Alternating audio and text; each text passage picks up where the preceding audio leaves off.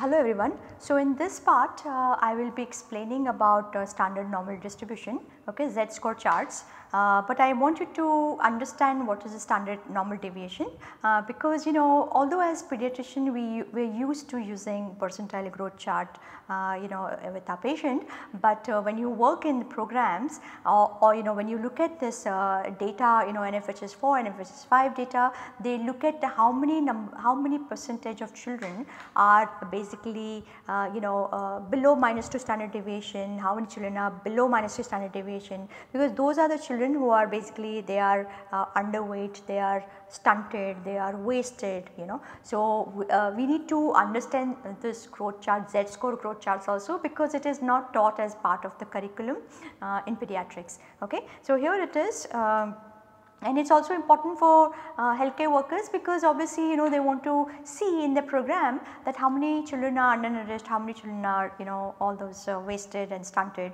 So again uh, let us discuss this chart okay. So this is a bell curve okay, this is your uh, basically your mean okay. Now this is your minus 1 standard deviation, this is a minus 2 standard deviation, this is a minus 3 standard deviation okay. Then you want most of your children to fall between minus 2 to plus 2 standard deviation. So, this is your normal basically curve this most of your children they fall in this uh, in this from plus 2 to minus 2 standard deviation okay. How many percent fall in this? So, look at these are the numbers. So, from minus 1 or say I would say from uh, mean to 1 you have 34.1 percent children fall between 0 to plus 1 and from plus 1 to plus 2 you have 13.6 percent children fall into this a positive uh, that means they are they are, they are uh, taller than or they are bigger than your mean average you know. Then these are some children they are below average right. So, below average would be your 34.1 percent children they fall up to like from mean to minus 1 34.1 percent children will fall in that and then you have uh, some children are even smaller than that. So, you have uh, what between minus 1 to minus 2 standard deviation. So, about 13.6 percent children they fall in this okay, from minus 1 to minus 2. Okay. But once they start falling below minus 2 standard deviation, these are the children that means they are uh, they, they are counted as undernourished uh, you know like uh, moderate malnourished, severe malnourished. So, who are moderate malnourished? Moderately malnourished are the children who are between minus 2 and minus 3 standard deviation okay. These are moderately malnourished and who are the children who are severely malnourished?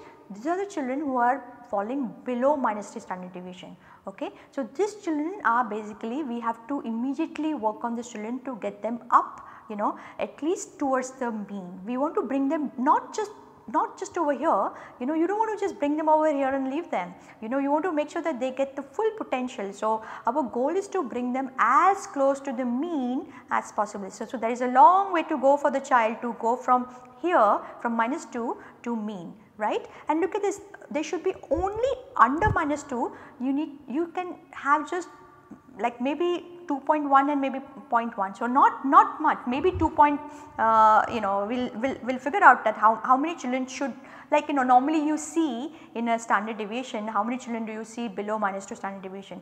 Unfortunately in India these numbers are too high okay. These numbers uh, they are much higher than uh, what it is sh shown over here okay. So, we will talk about that but remember that half of your children are half of your children are above average.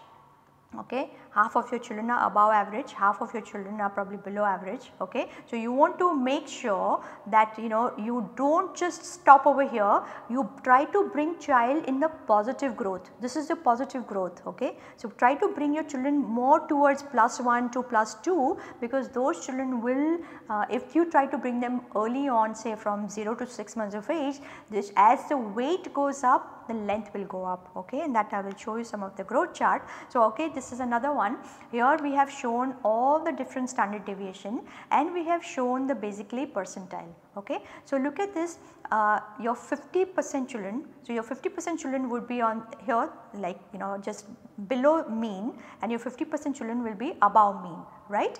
Okay. Now look at your minus 2 standard deviation okay. So, minus 2 standard deviation uh, basically coincides with 2.3 percent. So, normally only 2.3 percent children should be uh, below minus 2 standard deviation, only 2.3 percent children in the world. But in India, if you look at the weight 32 percent children are below minus 2 standard deviation, 32 percent. Look at the difference between 2.3 to 32. Do you understand what I am saying?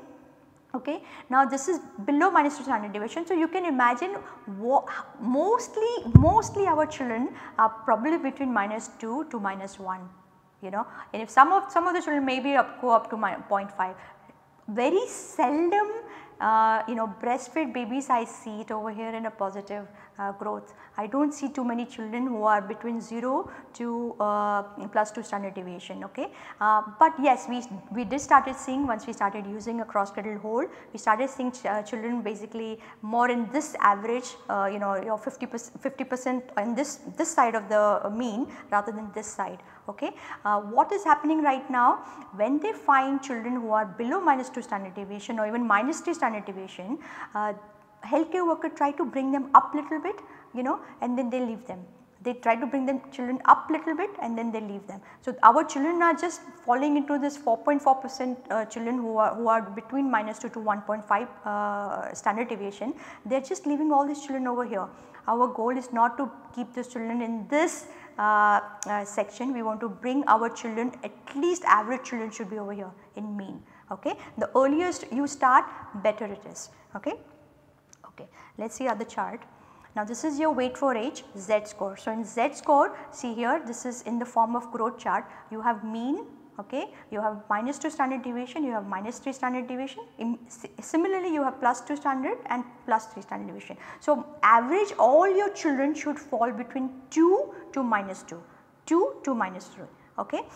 If your child fall below minus 2 and it falls between minus 2 to minus 3 that means your children are moderately malnourished okay. Now this is because of weight its weight for age so it will be underweight so, if your child falls between minus 2 to minus 3 those are moderately underweight and if child falls below minus 3 those are severely underweight. So, those are called SUW and MUW okay. Now, remember this. So, I want you now to bring your children not just over here okay, but I want you to bring your children up to mean and maybe above mean okay. Try to bring those children up but with mother's milk and earlier you start better it is okay. Similarly this is for length. So, again this is your standard deviation growth chart you have uh, you know 5 lines in this okay. So, your 0 to minus 2 and uh, 0 to plus 2 this are basically children should fall in this from plus 2 to minus 2 and uh, moderately stunted children will fall between minus 2 to minus 3. Remember only 2.2 uh, almost 2 percent children should fall below minus 2 but we have in India we have almost I would say 36 percent children are falling below minus 2 standard deviation instead of only 2 percent we have 36 percent okay and minus 3 below minus 3 is your severe stunting. So, length for age is for stunting okay. This is your weight for length chart again here in length for eight, uh, weight for length means over here you have a length and over here you have a weight okay. So, when you look at the length and weight chart uh, basically look at this uh, this is your SAM and MAM okay acute malnutrition SAM and MAM. So, between minus 2 and minus 3 standard deviation those are called MAM moderately acute malnutrition and below minus 3 is your SAM severe acute malnutrition okay. So, this is your SAM and MAM and that is for that is called uh, wasting also we use it weight for length chart okay. We have very high number of high percent of children who fall below minus 2 standard deviation and that is a kind of I would say it is an emergency because uh, children when they are malnourished acutely malnourished that is when they have a high risk of uh, mortality okay. Alright. Now this is uh, I want to show you the, what kind of chart we use in ICDS okay. So this is the ICDS chart this is for boy child this is for a girl child okay. So in ICDS they have this standard deviation chart but the way they have painted it they have painted this green color from mean to minus 2.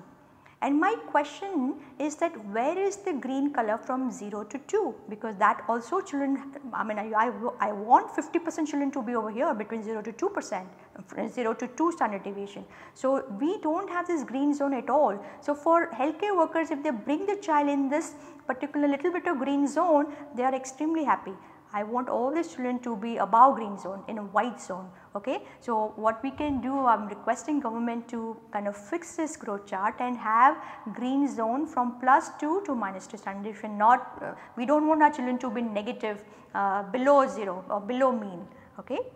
So, that is what uh, again our growth charts what we have in ICDS they have only used uh, green zone from minus 2 to 0 this part is completely missing. So, please talk to your local administration and tell them that this is what is missing and we need to fix it okay alright. Now last two slides and I am done. So this is a girl child I had shown in one of my presentation earlier. This is a child who is only 6 months old girl child and this is length for age okay this is a percentile growth chart. Because this child had beautiful milk transfer in first 6 months look at where the child's length is. She is 97 percentile. This is 97 percentile. Only 3 percent children of her age are this tall and she is a tribal child.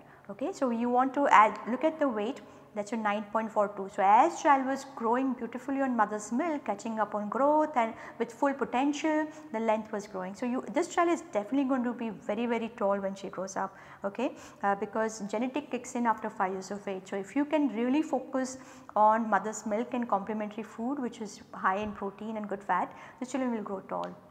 Similarly, this is a boy child even this child look at the length uh, plotted at 97 percentile very tall child okay so he is only 6 months old look at the weight 6 month old child weight is 10 kg.